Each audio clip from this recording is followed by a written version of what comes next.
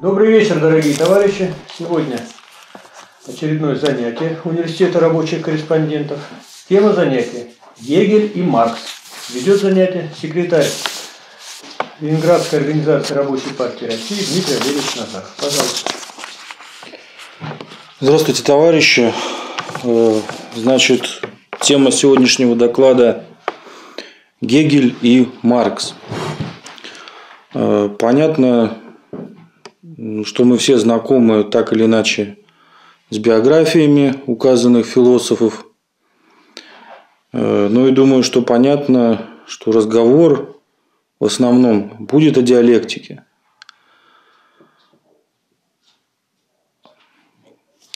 Что можно сказать в самом начале?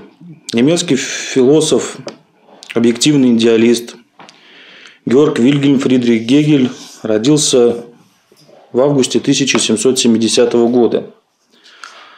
Как и любой э, гениальный человек, был полиглотом, очень много учился, очень много читал, разговаривал э, изъяснялся на нескольких языках, что впоследствии, я полагаю, очень сильно помогло ему э, в разработке диалектики.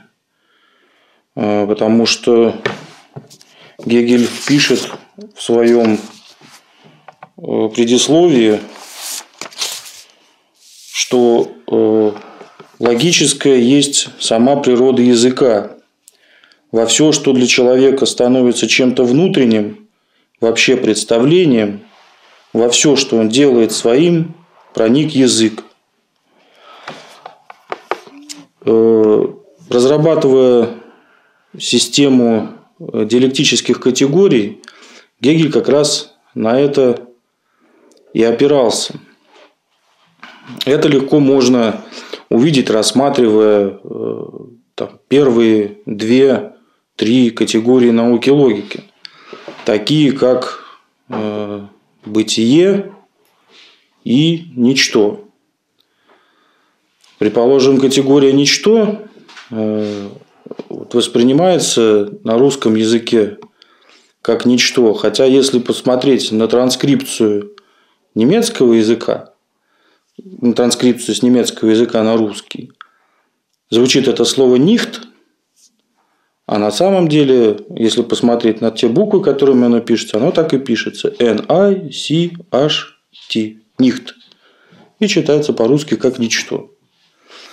Вот такой вот довольно интересный пример. Я думаю, что многие это заметили, но думаю, что не все сопоставили. Но это вот пример использования и применения языка э, в науке логики. Вообще наука логики является своего рода снятием э, всех предыдущих трудов предшествующих Гегелю философов, э, потому что в своей работе э, он включил э, все, что было разработано философами, философами до него в свою систему. То есть для каких-то категорий он нашел место в своей системе, какие-то категории он ввел как новые, предположим, такую категорию, как определенность, потому что до него говорили только о категории определения. Вот. И, собственно, э, начинается книга «Наука логики» с раздела «Определенность или качество».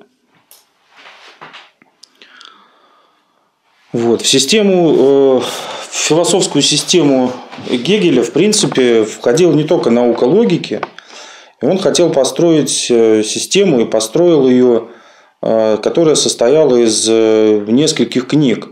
Там есть трактаты и там, об эстетике, есть философия права, есть предшествующая, непосредственно предшествующая книге наука логики работа «Феноменология духа», которая, в отличие от науки логики, читается очень сложно, потому что там огромное нагромождение философских таких э, мыслей, э, которые даже не совсем, как мне представляются, укладываются в систему. Но основным вот выводом из феноменологии духа э, является то, что познание совершается в трех формах.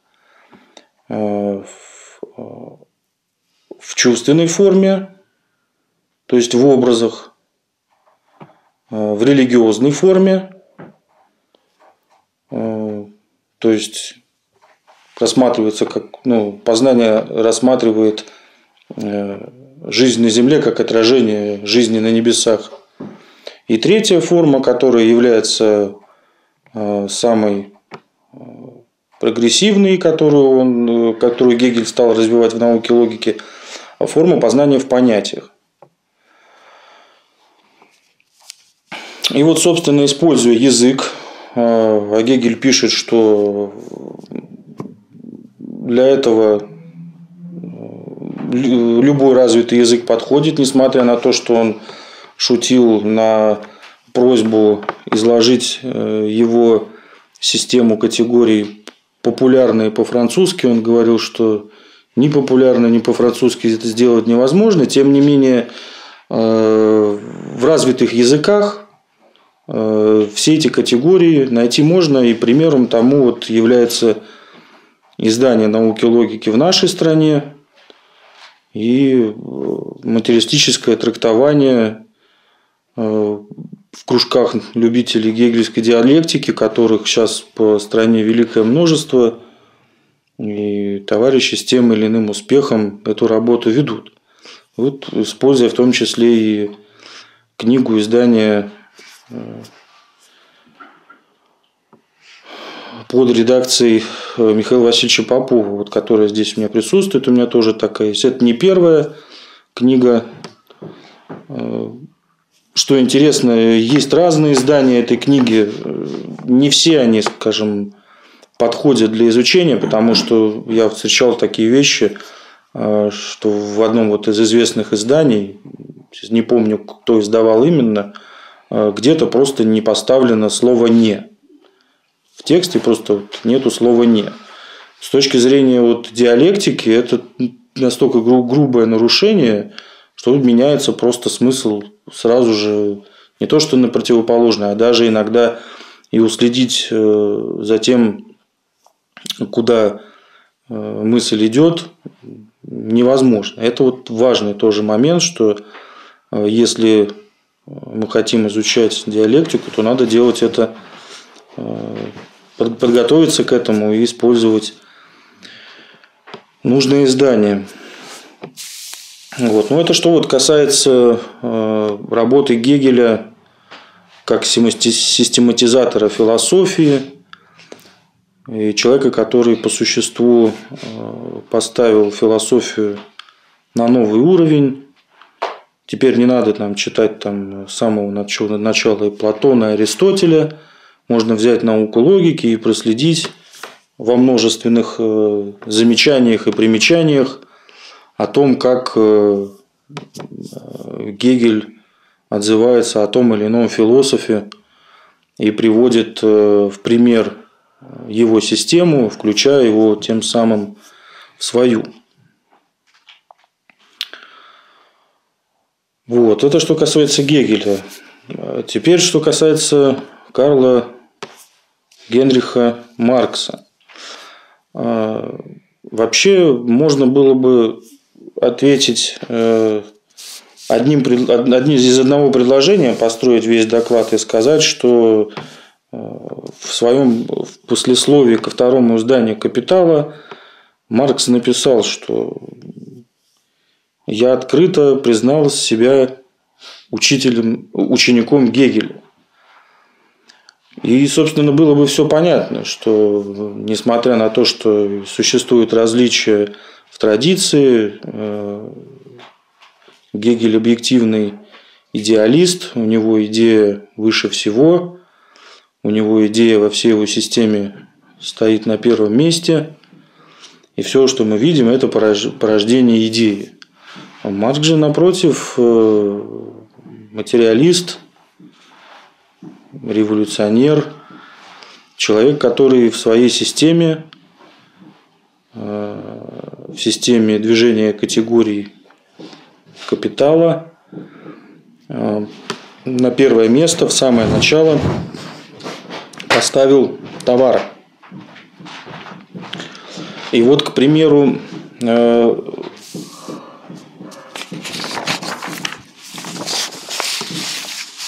к примеру,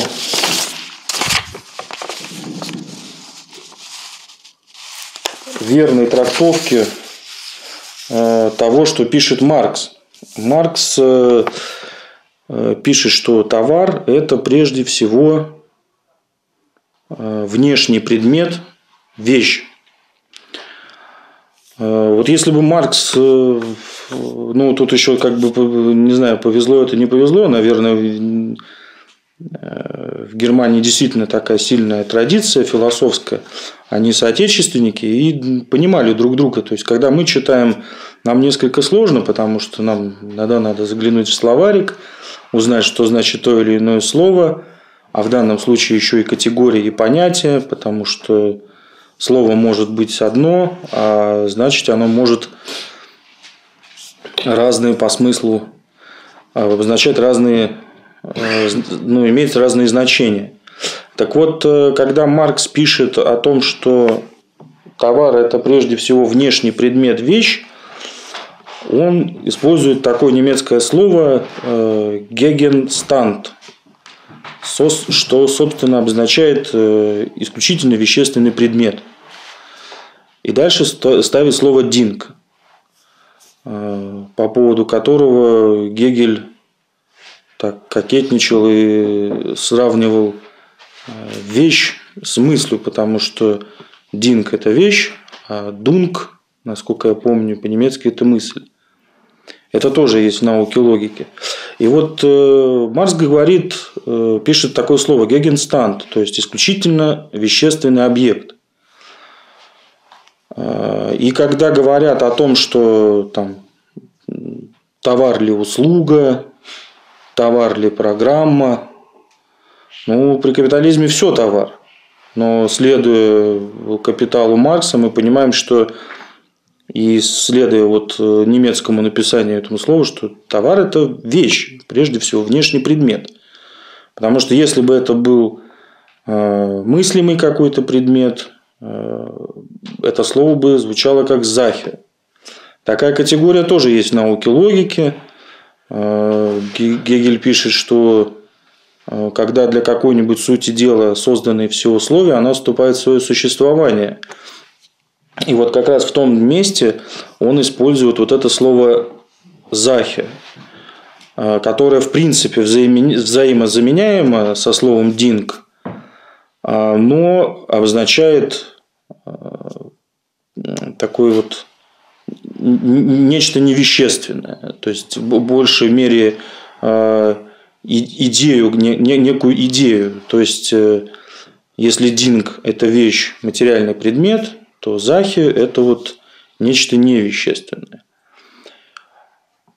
И вот, собственно говоря, на этом вот, э, если следовать э, такому пониманию товара, э, внешнего предмета, то сомнений по поводу того, услуга или товар, в общем-то, не возникает. Потому что ну, услуга направлена непосредственно на человека. Она не вещь. Программа тоже не вещь. Вот э, железо, в котором эта программа существует, то есть компьютерное так называемое железо, да, вот это вещь. Когда говорят, что это железо не будет работать без этой программы, ну, конечно, не будет. Ну, ну и сама программа э, при этом вещественным-то предметом не является. Ее потрогать нельзя. То есть идея картины это одно, картина это другое, другое совершенно. Вот, это что касается э, применения вот таких вот, э, такой вот диалектики к капиталу Маркса.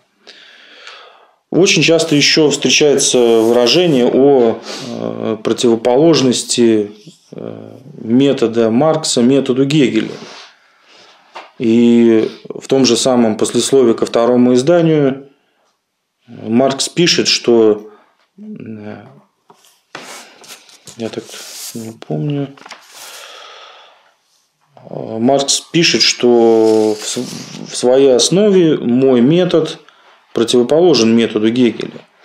И здесь вот э, возникает такое представление о противоположности, как будто это нечто, находящееся по ту сторону и не имеющее отношения к непосредственному э, предмету рассмотрения. Хотя, если мы пойдем в науку логики, мы найдем там категорию противоположность. Э, если будем ее изучать, э, мы поймем, что это не нечто вот оторванное, что вот противоположность она от своей другой противоположности не оторвана, а в том контексте, в котором э, об этом говорит Маркс, имеется в виду только то, что его система, она основана э, на мысли о том, что первичная материя противоположность тому, как я уже сказал, что в системе Гегеля первичная идея. Вот в этом, собственно, и заключается противоположность. Хотя сам метод, а метод – это осознание формы внутреннего самодвижения, содержания изучаемого предмета. Сам метод при этом не меняется.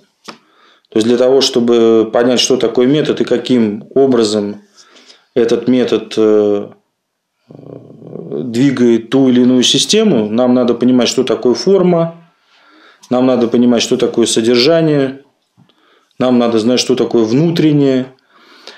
И все вот эти вроде бы известные нам слова, но вполне возможно, что не всем понятные категории содержатся в науке логики. Причем эти категории довольно-таки сложные, потому что, как и противоположность, категории формы, э, содержания внутреннего – это категории сферы сущности, которая э, отличается той сложностью, что когда мы берем, э, скажем, категории сферы бытия, там мы их берем непосредственно. Вот берем непосредственно, смотрим на них и называем их. И там вроде как относительно это все несложно. Там бытие, ничто, становление, определенность, качество, наличное бытие, нечто, другое, граница, э, долженствование, конечное, бесконечность, для себя бытие, отталкивание, притяжение, и далее уже количество, то в категориях сферы сущности э, рассмотрение идет несколько, как сказать, по-другому. Правильно говорят, что там вот если там надо вот как бы так все наоборот читать. Предположим, если в сфере бытия есть такая категория, которая называется определенность, Э, определенность – это не бытие, которое принято в бытие таким образом, что конкретное целое имеет форму бытия, то в сущности э, такой категории, как определенность, нет. Там есть такая категория, которая называется положенность. И напрямую, э, вот в тексте, насколько я знаю науку логики, Хотя, понятное дело, что знать там всего нельзя, и, наверное, там можно очень долго, годами читать всего не узнаешь, но вот насколько я читал, там вот напрямую категория положенность не выводится. Но что это такое? Вот если определенность – это не бытие, принятое в бытие так, что конкретное целое имеет форму бытия, то, сущность, то в сфере сущности все категории имеют форму ничто. То есть отрицание бытия. Причем отрицание любого бытия. А, и вот положенность – это а, такое бытие, которое принято в небытие так, что конкретное целое имеет форму небытия или ничто. Вот для слуха я прекрасно понимаю, что это вот довольно-таки сложно. Тем более может возникнуть такое ощущение, что это некоторое жонглирование словами, терминами, хотя на самом деле, если следовать э, заветам Владимира Ильича и штудировать науку логики, то до этого можно дойти. И вот э, если мы берем такую категорию, как положенность, сложную категорию, то когда э, Маркс говорит о противоположности своего метода методу Гегеля, то вот он как раз использует еще одну категорию сущностную противоположность. То есть это такая положенность, которая в паре со своей противоположностью находится напротив. И вообще противоположность – это единство тождества и разности.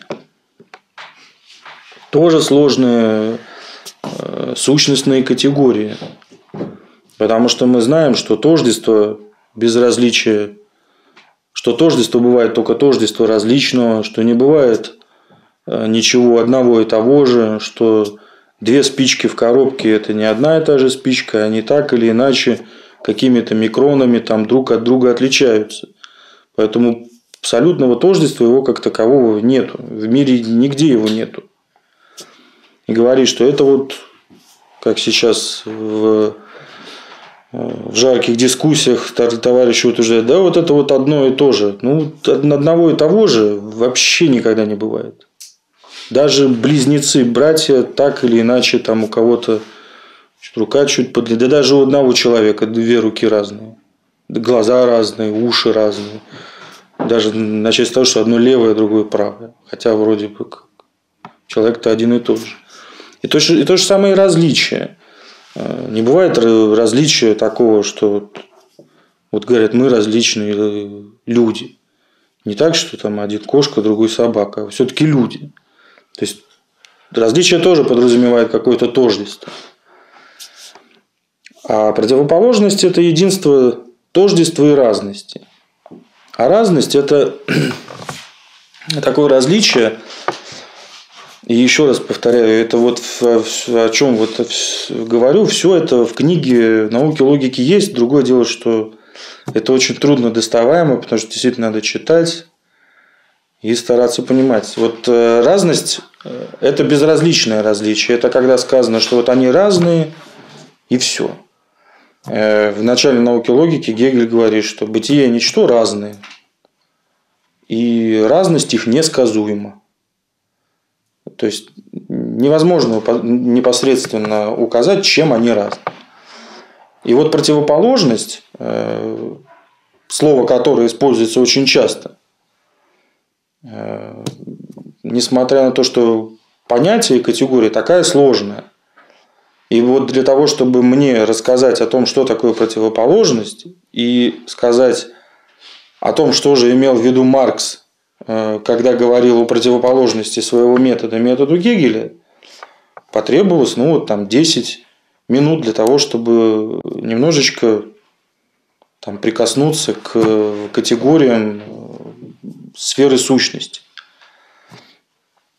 Хотя э, воинствующему материалисту, марксисту, коммунисту э, завещано Владимиром Ильичем штудировать науку логики, дабы по щедринскому выражению, как он пишет э, в работе о значении воинствующего материалиста, наш материализм был не сражающимся, не, был сражающимся, а не сражаемым. Я вот думаю, что в, много раз здесь ставился вопрос о необходимости изучения науки логики, и Должен сказать, что эта работа идет, И в своем докладе я вот хотел показать, что в принципе это, ну, это сложная вещь, но не недоступная. А, я вот науку логики читаю, ну, наверное, года три. Понятное дело, что надо читать не одному, надо читать э, с товарищами, ходить в кружок. А, у нас тут есть кружок любителей гегельской диалектики, который ведет Михаил Васильевич Попов. У нас есть э, занятия, которые проводит Казенов Александр Сергеевич. Я знаю, что лекции по диалектике Золотов Александр Владимирович. Золотов Александр Владимирович ведет в Нижнем Новгороде. Вот Виктор Петрович Огородников тоже, насколько я знаю, если я не путаю. Владимир. Владимир, прошу прощения, Владимир Петрович тоже вот как философ изучает это. Но у него вообще область такая что довольно-таки широкая. Он там очень любит в античность уходить, но тем не менее тоже вот, э, то есть философов современных достаточно, которые это изучают. Я вот не философ совершенно, то есть от слова совсем, ну вот кроме того, что я тут читаю книгу, да, занимаюсь э, в кружке, но тем не менее какие-то, смею надеяться, успехи есть. Поэтому вот э, в этом свете товарищи призываю учиться этому и по возможности эту книгу читать и штудировать. Вот, что еще хотелось сказать. Э, понятно, что э, прослеживается некая тенденция, я бы даже сказал, такая линия философская, которая берет свое начало вот от Гегеля, э, к его книге «Наука логики», проходит через Маркса. Когда мы говорим о Марксе, мы не можем не упомянуть его э, товарища, которого он в переписке называет дорогой Фред, именно Фридриха Энгельса. И что вот тоже интересно, в, в конспекте переписки Маркса и Энгельса Владимира Ильича, которая находится в собрании сочинений Маркса и Энгельса – там есть целый том, э, где в письмах э, они обсуждают вообще, что бы по этому поводу. Они обсуждают там много всяких вещей, там в том числе э, критикуют Прудона, где-то там еще на кого-то нападают. Ну, в общем, решают какие-то вот вопросы, которые были вот их современными, да постоянно встречается фраза о том, что бы по этому поводу сказал старик Гегель.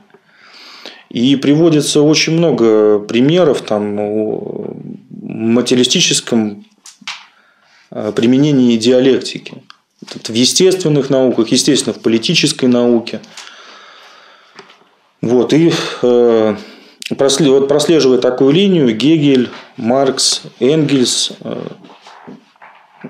развивая их идеи, мы неизбежно приходим к трудам э, более современных уже ученых э, Владимира Ильича Ленина, который э, в период, когда было ничего не понятно, все были против всех, в обществе царили, царили разные идеи, он берет науку логики, читает ее и находит выходы из сложившихся ситуаций.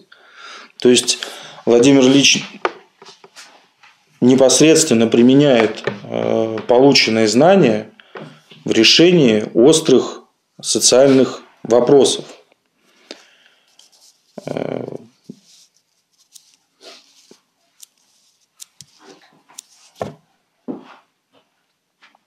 И э, используя науку логики, используя работы Маркса и Энгельса, э, строит целую систему, которую можно назвать научным социализмом, которая представлена целым собранием сочинений, в котором от начала к результату, а именно такая система является научной, которая имеет начало как э, неразвитый результат и результат как э, развернутое начало.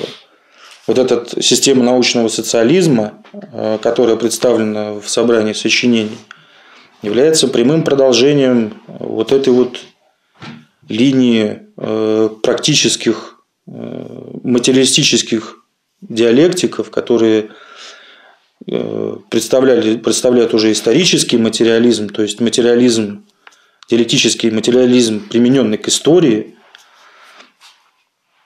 Потом мы можем проследить эту линию э, в практике построения социалистического государства в работах Иосифа Виссарионовича Сталина, несмотря на то, что э, прямых э, сведений, насколько я понимаю, о том, что там систематически изучал диалектику, нету, но он был учеником Ленина, верным ленинцем, и, так сказать, э, на практике впитал э, и применил э, знания, которые получил от Владимира Ильича. Более того, уже в период, в переходный период от социализма к капитализму с 1961 года мы Э, видим, что эта линия, она не прерывается. Э, и здесь можно назвать таких ученых, вот, э, как Константин Игоревич Смирнов, если не ошибаюсь. А, или, Игорь, прошу прощения, Игорь Константинович Смирнов, который написал метод исследования метод исследования экономического закона, экономического закона движения капитализма в «Капитале Кармаса», где тоже применил диалектику. А, мы знаем ученого Василия Яковлевича Ельмеева, который выдвинул а, трудовую теорию потребительной стоимости, если я не ошибаюсь. А, мы знаем все э, и лично знаем Михаила Васильевича Попова, который рассмотрел э, планомерное разрешение противоречий социализма как первой фазы коммунизма. Э, и применяет э, диалектику уже в условиях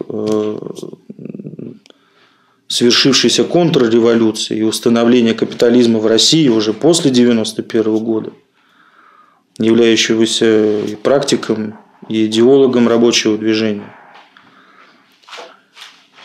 Э, мы э, можем ответить еще Золотого Александра Владимировича, который написал книгу «Развитие профсоюзного движения России». Причем эта книга уже о современной России, опять-таки о периоде реакции. Мы знаем Олега Анатольевича Мазура, который написал книгу э, «Развитие современных работников России». То есть вот эти товарищи, которые непосредственно предметом своего изучения э, сделали противоречие капитализма, установившегося в России после 1991 года, и находят эти решения – на материалистической основе э, в лице самого прогрессивного класса, рабочего класса. То есть это ученые, э, марксисты, которые напрямую, они наши современники, это вот Мазур и Золотов, это, в общем-то, молодые люди по, по сравнению... Относительно. Ну, относительно молодые люди, да. То есть это вот буквально предыдущее поколение. Но это люди, которые действуют, они работают э, и ведут вот эту вот линию. То есть мы можем проследить, э, и я в, меру вот э, своих скромных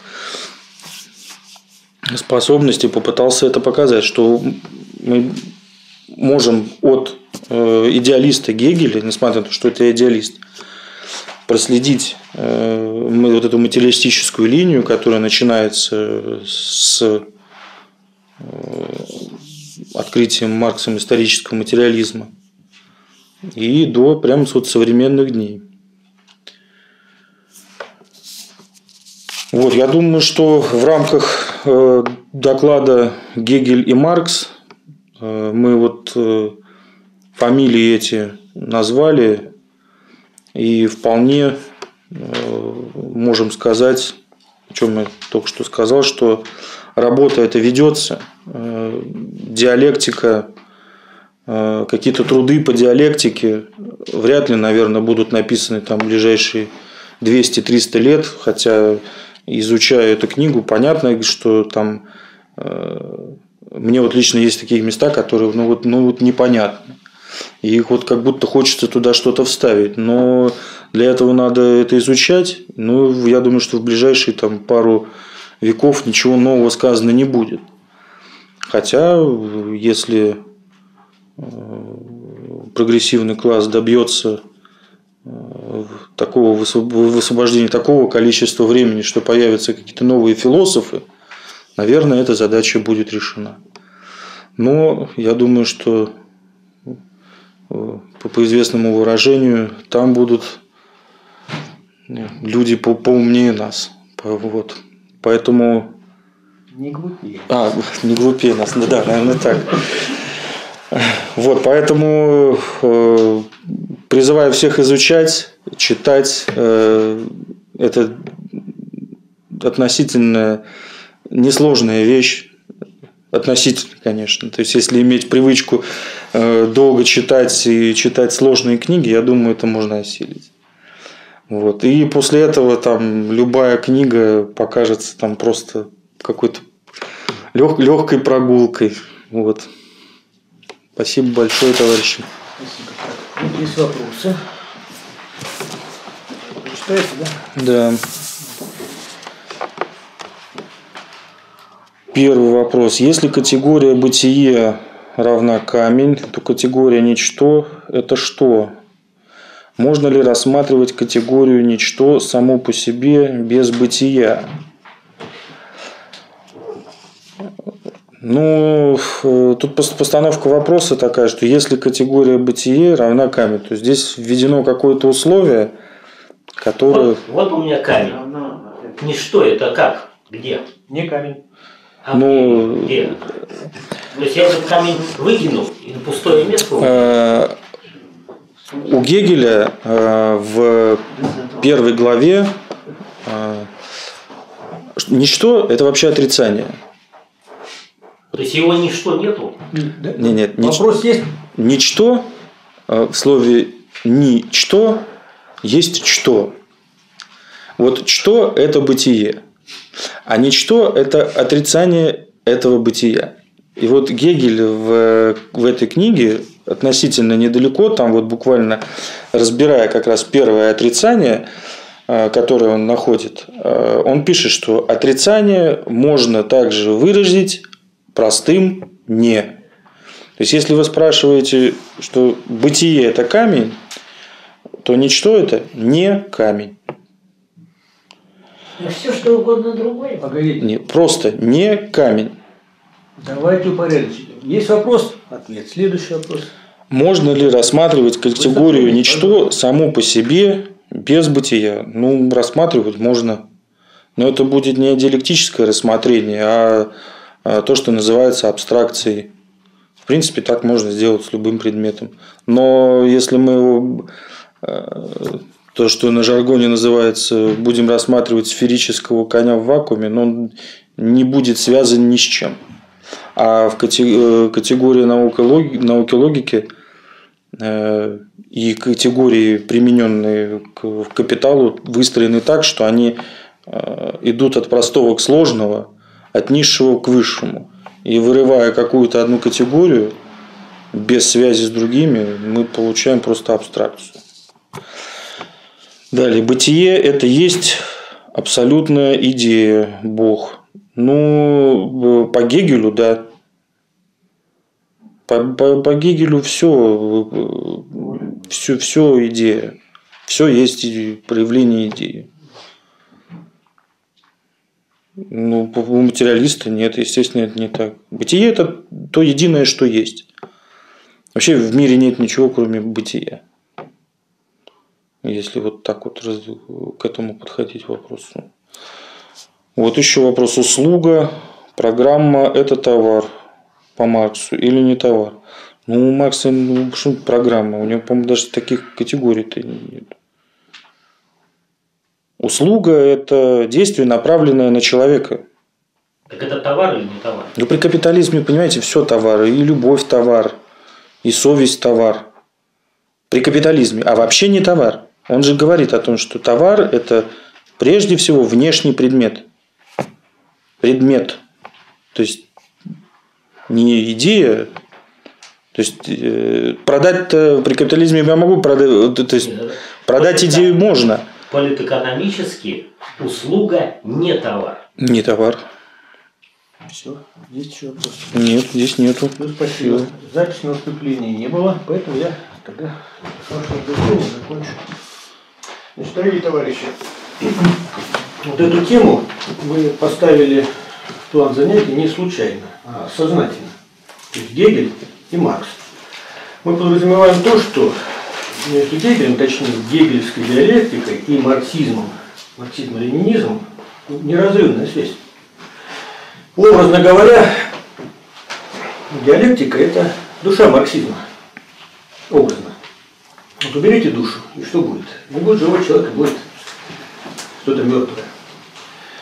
Вот возникает вопрос, э, а где нам эту диалектику найти? По какому произведению изучать? Потому что Гегеля основное произведение, где изложен диалектический метод, это наука логики. О чем Дмитрий Олегович замечательно говорил. А есть еще какие-то другие произведения. Я почему это сказать, говорю? Потому что э, есть группа деятелей, которые числятся, причисляют себя к левым, называют себя левыми, но которые говорят, э, нет, вот отдают дежурную дань, как бы Гегель это гениальный мыслитель, диалектика это очень важно, но вот науку логики изучать не надо. Не нужно изучать. Вопрос, а где мы можем найти вообще диалектический метод? Ну, вот основное произведение марксизма – это «Капитал Маркса». Так? Ну, капитал по отношению к диалектике – это что такое? Это частный случай диалектики. Частный, то есть Гегель взял, э, Маркс взял диалектический метод и применил его к конкретному ну, предмету, будем называть, а именно капиталистическому способу производства и соответствующим производственным отношениям. А у нас только способов производства 5. Там будут другие категории, другие связи.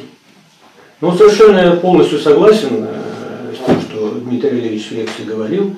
Вот если взять произведение Владимира Ильича Ленина, да, полное собрание сочинений с 1 по 45 том, это можно с точки зрения вот, оценки применения диалектики сказать, что это да, применение диалектики, диалектического метода классовой борьбе российского пролетариата во всей, так сказать, в этом процессе, в ходе создания условий социалистической революции, в ходе самой революции, в ходе построения нового коммунистического общества.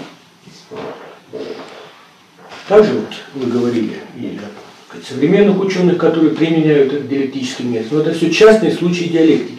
Частный случай применения диалектики каким-то м, конкретным предметам. Да.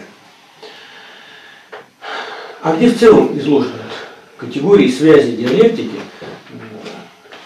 получается только один. Одно произведение. Наука логики Гегеля. Поэтому Фридрих Энгельс, большой, великий знаток диалектики, не случайно сказал, что наука логики – это единственный компендий диалектики. Компендий, то есть прямая дорога, кратчайший путь. И нету другого произведения. Ну, те, которые, э, товарищи, которых я говорил, поминал вначале, которые вроде как признают это, внешне признают значимость гегельской диалектики, наука логики, но говорит, черт, черт меня, я их тут изучать не надо, Гегель идеалист, поэтому науку логики тоже изучать не надо. Но я приведу один пример. Вот возьмем Владимира Ильича Ленина. Да, Есть такой 29-й том, где конспект науки логики Гегеля. То есть Владимир Ильич Ленин вот, читал страницы за страницей науки, логики и делал свои замечания. Там масса ценнейших замечаний, я как всем рекомендую в Красном университете и здесь читать как отдельное произведение. И в самом конце Владимир Ильич Ленин делал такое заключение, вывод. А он их брал, эти свои мысли, вот такими черточками жирными очерчивал, прямоугольниками, квадратами, ставил восклицательные знаки, писал N, B, латинское очень, так сказать, значительно. И он написал, что в этом произведении Гегеля в науке логики меньше всего идеализма, а больше всего материализма. Противоречиво, но факт. Поэтому я все время э, периодически обращаюсь к этой э, мысли, к этому выводу Ленина. Какой предмет изучения у Гегеля? Мышление. Мышление что, материальное? Нет. То есть сам предмет исследования науки логики. И вот он построил вот эту систему категорий, потому что суть, суть вот этого произведения – диалектический метод. Поэтому задача тех, кто стоит на почве материализма, брать этот диалектический метод, изложенный в Гегеле науки логики, и творчески применять во всех областях знаний и природе, и в обществе, прежде всего в классовой борьбе. Вам заключительное слово. Ну вот я бы хотел в качестве заключительного слова привести цитату из второго тома э, науки логики Гегеля, где он пишет. Из среднего термина «социальность» можно вывести общность имущества граждан. Из среднего же термина «индивидуальность», если проследить его столь же абстрактно, вытекает распадение государства. То есть это вот э, очень материалистическая мысль. И это написано Гегелем.